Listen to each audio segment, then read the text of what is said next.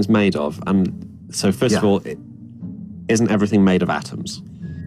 Yeah, all the stuff around us is made of atoms. I mean, there's there's the 95% of the universe where we don't really understand what it's made of, uh, dark matter and dark energy. But putting that aside, Yeah, it's only a the, small every- the 5% of the universe where we do seem to understand what it's made of, yeah, it's all made of atoms or stuff like atoms, uh, uh, ions, which are atoms with uh, missing electrons or extra electrons or stuff Okay, like so that. hang on, Yeah. wait. A- atoms contain electrons, so you can actually cut an atom up into something smaller. Atoms are not fundamental. They're made of other things. Okay, so what are they made of? You mentioned electrons.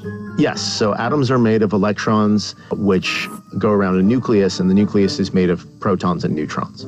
Okay, so protons and neutrons fundamental. No, protons and neutrons are not fundamental. They're made of quarks. Uh, specifically, they're made of two different kinds of quarks up quarks and down quarks. Uh, one of them is two ups and a down, and the other one is two downs and an up. And I never remember which is which, but the point is atoms are made of electrons and quarks. Okay, so we've got so that's three fundamental particles then, two quarks and the electrons. Okay, so is that, is that what everything's made of then? There's there's two quarks and the electron. Almost everything in the universe is made of those things. Uh, there, there are other fundamental particles, though. There, there's uh, trillions of neutrinos passing through us right now. All right, so we've got the two quarks, the up and down quark, we've got electrons, and we've got neutrinos. Is that it? No, Right. not even close. It, it turns out that there's a lot more fundamental particles than that. Um, there's actually two more groups of four particles like that, uh, which is just like our group of four particles, except sort of heavier. Uh, you know, they have more mass.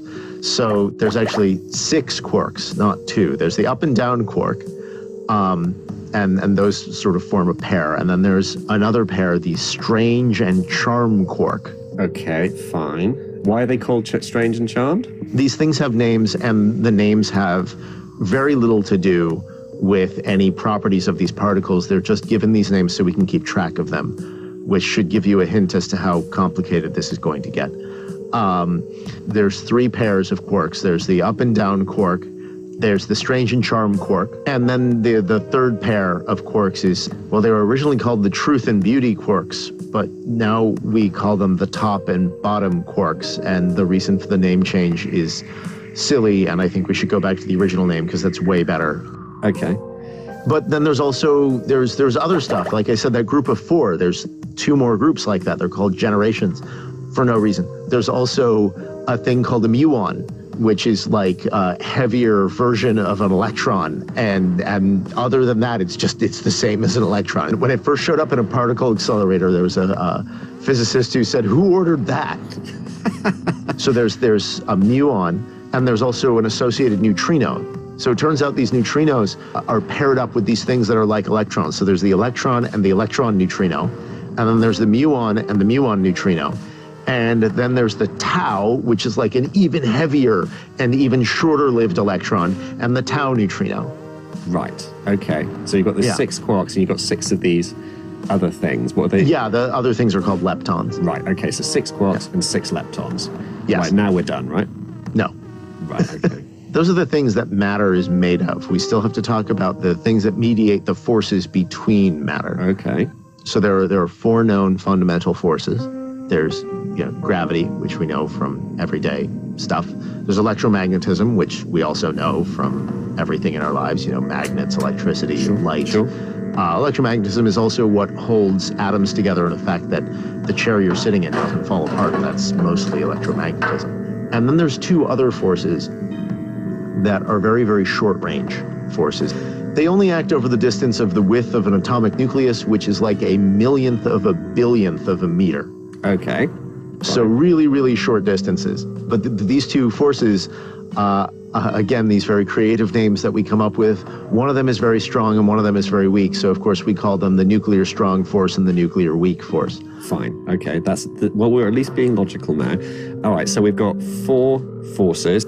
That's right. So there's got to be four little particles, one for each force. Not quite. So the, the particles that make up stuff, we call those fermions. Um, these particles that carry forces, we call them bosons. There is one boson for electromagnetism. So electromagnetism works the way that you think it would, and it has a boson that actually a lot of people have heard of, the photon. Okay. And it's just a little packet of electromagnetic energy. And so there's photons whizzing around the room with you right now. But these other two forces, the nuclear strong force and the nuclear weak force, they don't really have just one. The strong force is what holds quarks together into protons and neutrons, and it's what holds protons and neutrons together into atomic nuclei. So that we call these things gluons because they're like glue. So the strong force has this thing called color, and there's three colors red, blue, and green these colors in the nuclear strong force. There's three of them, and so of course there are eight of these particles that carry the force. Right. Okay. There's red up quarks and blue up quarks and green up quarks, and the same for every other kind of quark. So there's not six quarks, there's 18. Have we talked about the weak nuclear force yet? No, we haven't talked about the weak nuclear force. The weak nuclear force is carried by three three particles the Z naught and the W plus and minus, and those three things carry the weak nuclear force. Right. The weak nuclear force uh, basically is responsible for certain kinds of particle decay, and it's also the only thing that uh, neutrinos feel, except for very, very weak gravity. Okay.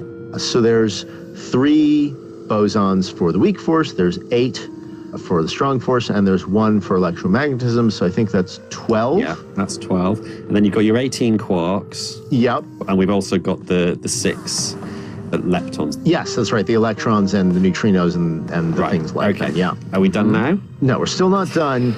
We're still not done because it turns out that every particle has an antiparticle. Oh, so you mean antimatter, the thing that makes things explode when you put it with normal matter.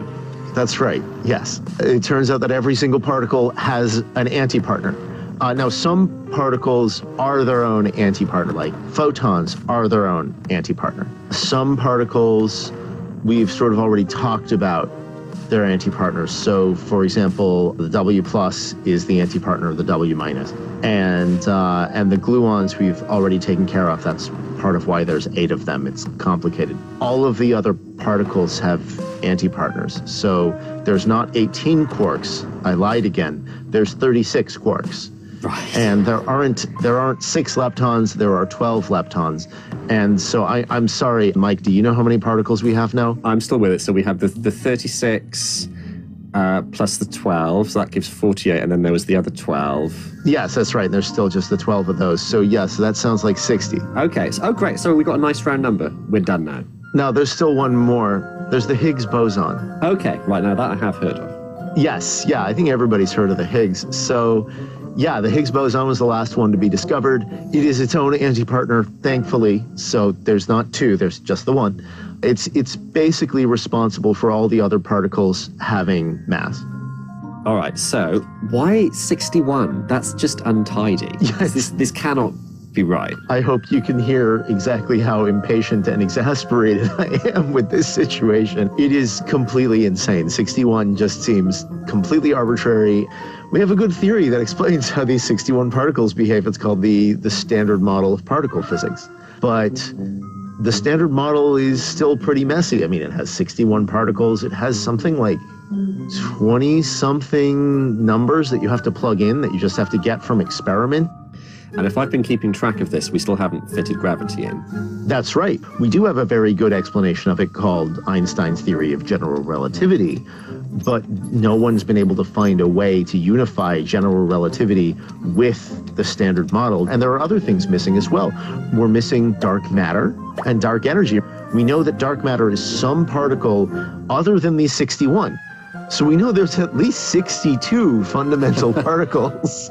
It sounds like we need to rethink this whole physics thing a little bit. Yeah, yeah. Trying to understand what goes beyond the standard model is the thing that we're trying to figure out when we build these huge particle accelerators like the Large Hadron Collider. And, and we're hoping that it will give us some hint of, of what's out there. Now, right now, the LHC has found the Higgs, which we knew we were going to find from the standard model but it hasn't found anything else new. And the problem is the standard model is really successful. And so we need another hint of where we've gone wrong. And so getting the Higgs, which we knew we were supposed to find, and nothing else, is what physicists, what we've been calling the nightmare scenario.